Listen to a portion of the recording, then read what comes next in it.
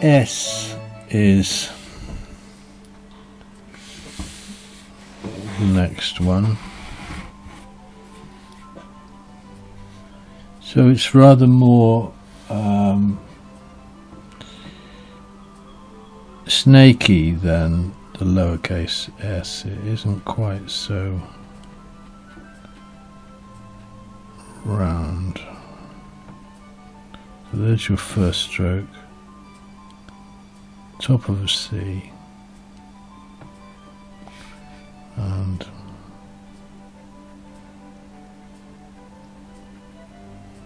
there's the bottom. So that's a capital S, so slightly narrower than the um, the lowercase one, which actually sits inside a circle. So there's the S. What have I got next? Um, the U uh, you've already done in the lowercase, so we don't really need to worry about that. Oops.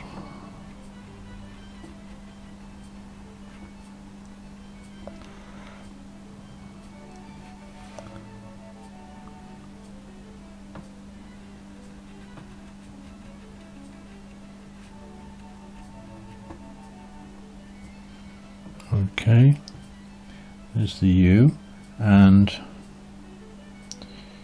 the K is another one which is very similar.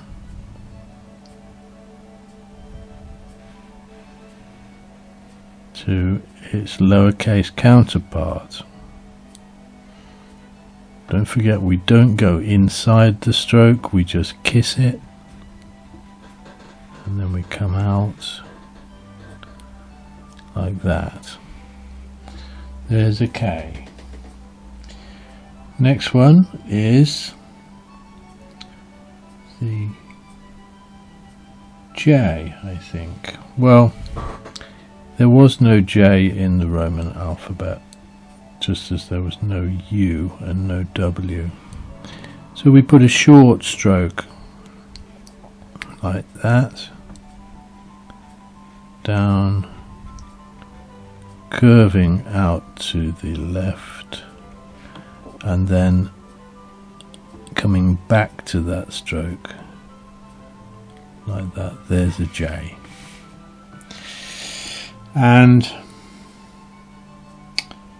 then we've got the V W X Y and Z which are which we can pretty much do.